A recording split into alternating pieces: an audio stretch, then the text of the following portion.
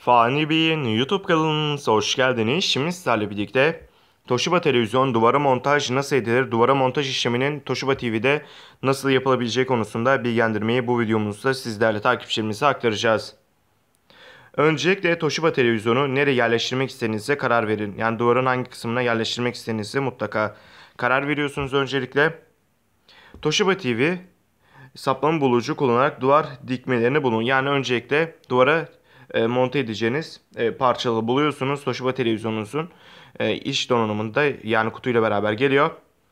E, pilot deliklerini işaretliyorsunuz. Yani takacağınız uçların deliklerini işaretleyin ardından bunları e, bir e, ne diyelim bir e, duvar delici yardımıyla matkap vesaire yardımıyla delip takıyorsunuz. Ardından duvara montaj için gerekli aparatlar var. Küçük aparatlar. Bunları da o boşluklara taktığınızda duvara montaj işlemini gerçekleştirebilir ya da ilk kurulum yapacaksınız. Toshiba televizyonun yetkili servisleri ücretsiz olarak kurulum işlemini gerçekleştirecektir.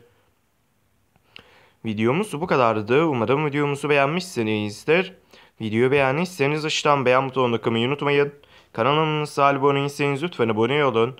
Bir sonraki videomuzda görüşmek üzere. Hoşçakalın. Kendinize iyi bakın.